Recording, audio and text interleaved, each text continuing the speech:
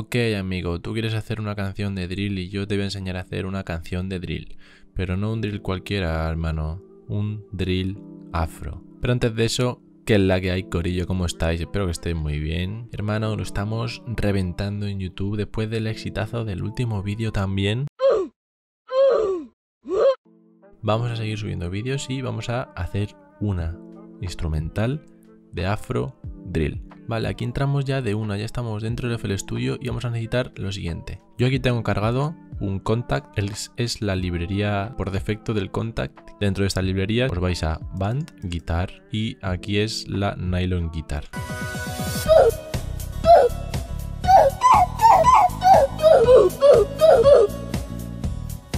Vale, finalmente, eh, después de estar un ratillo toqueteando, me he salido con esta melodía y bueno, la enseño a ver qué es lo que os parece.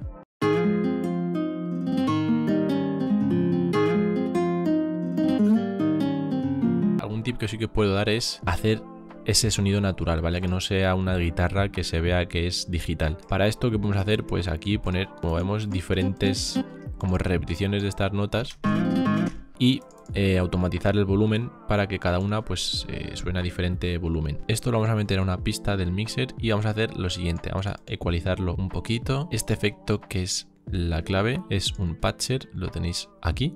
Aquí lo que tienes que hacer es darle a esta flechita a presets y este se llama humanizer. Esto le va a dar un efecto mucho más natural porque no va a sonar todo tan perfecto y eso es realmente lo que estamos buscando. Que vamos a añadir luego un vinyl. El vinyl es un efecto que es gratis de Isotope, así que hermano, descárgatelo. Y básicamente pues hace una función muy similar al patcher que es emular eh, un sonido que es analógico. Por último, un reverb muy sencillo y abierto un pelín al estéreo y suena tal que así.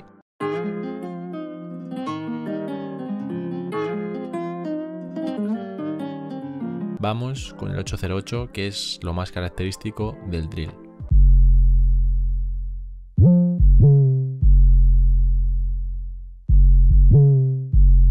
Algo muy importante es estos slides que son tan característicos en el drill y vamos a añadir los efectos. Un ecualizador muy básico, un limitador. Con este limitador lo que quiero es aplanar la onda, como veis ahí corta esa parte en azul, para que simplemente la onda quede más recta y pueda subirla más y que pegue más alto. Otro ecualizador con el que hago un sidechain, con el kick y un fruity limiter que también me gusta usarlo para eh, meter otro sidechain. Ok, cuando ya tenemos nuestro 808 lo ponemos en la playlist y ahora lo que tenemos que hacer es añadir nuestro top kick. Bastante simple. Y para los efectos, un ecualizador muy, muy, muy, muy, muy sencillo en el que vamos a cortar simplemente frecuencias muy cortas y las muy altas. Muy cortas no, muy bajas. Para el limiter, que vamos a hacer exactamente lo mismo que para el 808. Queremos cortar un poquito el pico, pero aquí sin pasarnos porque si no nos quedamos sin, sin kick. Y luego un pick controller. Sirve para hacer un sidechain. Yo en este caso lo uso para que siempre que suene el kick, las frecuencias bajas del 808 se silencien para dejarle espacio al kick. ¿Qué tenemos que hacer para hacer eso? Simplemente abrir un Fruity Peak Controller, mover estos volúmenes aquí. Ahora vamos al canal del 808 y abrimos un ecualizador. Cargamos el preset con las tres bandas y las ponemos más o menos así. Aquí en esta banda nos venimos la parte de la derecha, clic derecho y le damos a Link to Controller. Este desplegable y añadimos Peak Control Peak. Le damos, aceptamos y vamos a ver lo siguiente.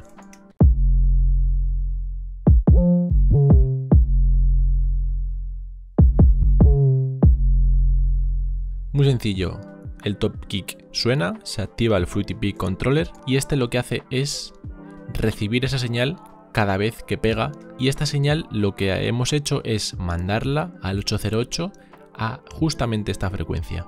¿Para qué? Para que cada vez que se active esta señal del kick se baje el volumen de las frecuencias bajas de nuestro 808. De acuerdo amigo, ya tenemos nuestro 808, ya tenemos nuestro kick y ahora no hay que añadir más sin antes mezclar ambos. Linko el kick hacia un canal, linko el 808 hacia el mismo canal y aquí los mezclo juntos. Lo único que he hecho ha sido añadir este plugin que para mí es... ¿Qué hace este plugin? Básicamente es una mezcla entre amplificar y distorsionar un poquito.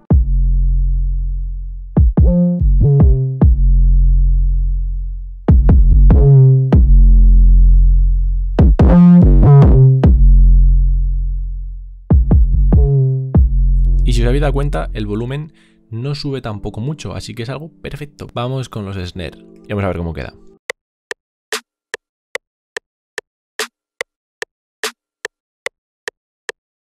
Esta es la base, luego podéis variar un poquito, de hecho, por favor, variar un poquito porque si no, acaba sonando todo igual. Añadimos nuestro snare y luego voy a añadir otra capa, otro snare, ¿por qué? Porque quiero que suene un poco más...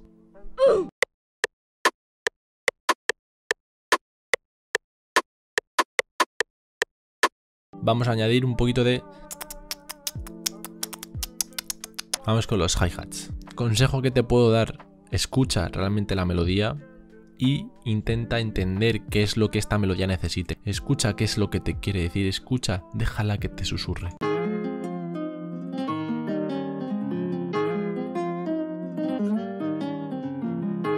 Yo he optado por este patrón.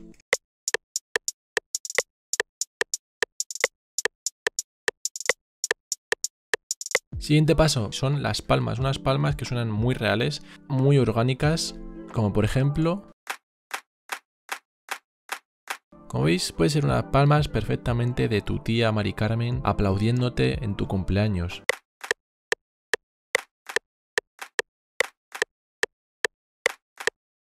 La sencillez es la clave. Luego, algo que es la salsa final, hermano. Un hi-hat, pero en este caso abierto.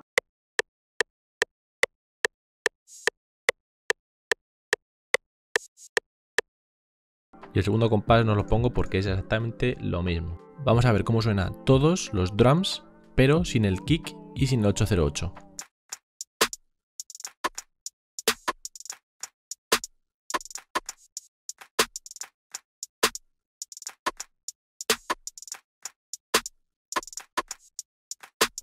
Como veis con el estilo afro lo que queremos es que nada más escucharlo nos entre ese, ese buen rollo. ¿Qué hago yo para mezclar mis drums? lo meto todo en un bus, obviamente habiéndolo ecualizado antes individualmente. Ecualizador muy básico, corto las bajas frecuencias. Un limitador, ¿para qué? Para cortar los picos más altos y así poder subir más el volumen. Un compresor con este preset de drums que le da un brillito que me gusta mucho y lo llevo utilizando muchos años. Vale, una vez hayamos mezclado todo, así es como suenan todos nuestros drums.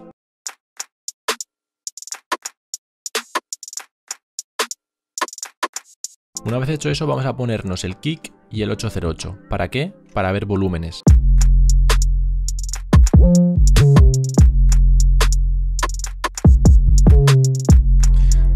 Que ser muy críticos con vosotros mismos y si hay algún elemento que destaque mucho tenéis que bajarlo para igualar todo lo máximo posible y que suene lo más uniforme que podáis. Vamos a pasar a ver cómo queda con nuestra melodía. ¿Para qué? Igual, para ver si volúmenes están correctos.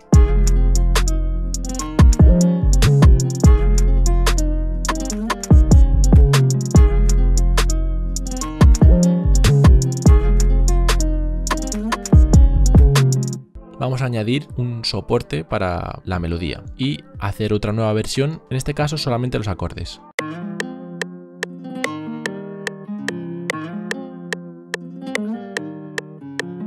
Para temas de afro queda muy bien meter una trompeta, un stab o una fluta.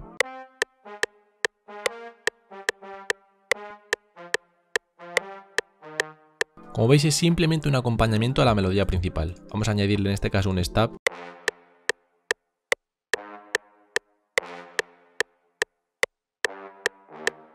todo junto queda así.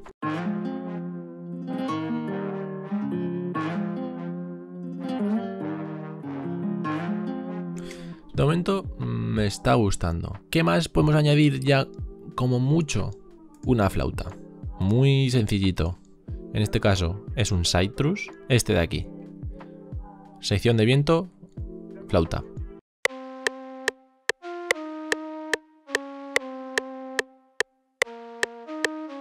Vamos a ver cómo suena todo.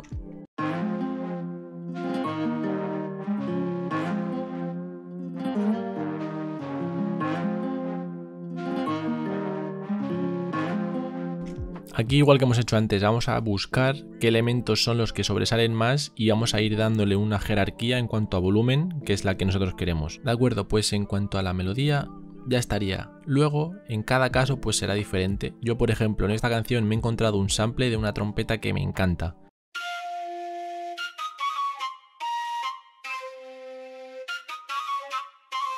¿Qué es lo que yo voy a hacer? Siempre que suene este sample, lo voy a combinar con esta versión de la melodía y a lo mejor con, la, con una trompeta y con el stab. Ahora, una vez tenemos ya todos los elementos, lo que tenemos que hacer es empezar a estructurar nuestra canción y hacer que la canción como tal sea eso, sea un viaje.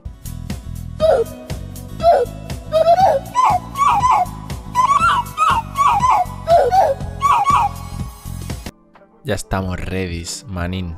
Ya hemos acabado la estructura, ya hemos acabado la canción, así que vamos a escucharla un poco.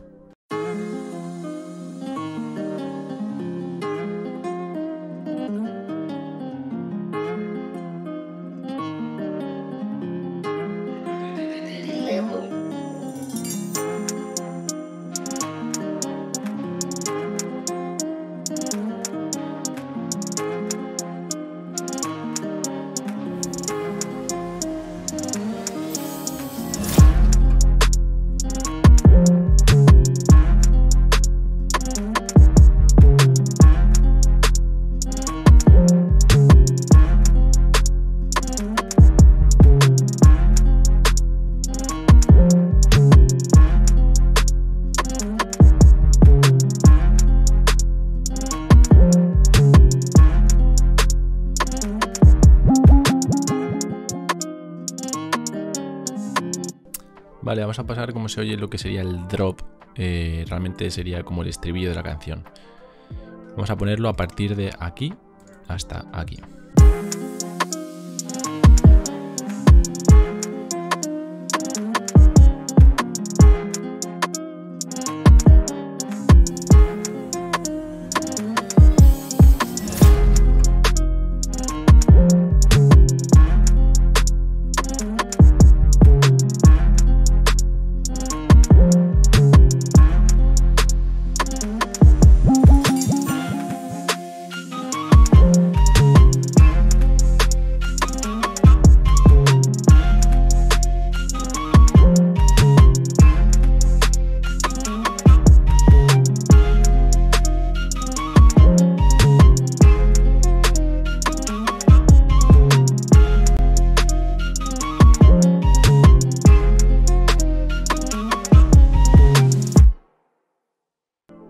Esto sido todo. Espero que te haya gustado y espero que sobre todo hayas captado un poco esa vibra afro que le he querido dar. Y nada más, eso ha sido todo por mi parte. Os voy a dejar como regalo este proyecto en la descripción, el FLP, totalmente para vosotros, hacer lo que queráis con él. Y mm, nada familia, eso ha sido todo por mi parte. Como siempre, nos vemos en otro próximo vídeo y cuídate. Chao.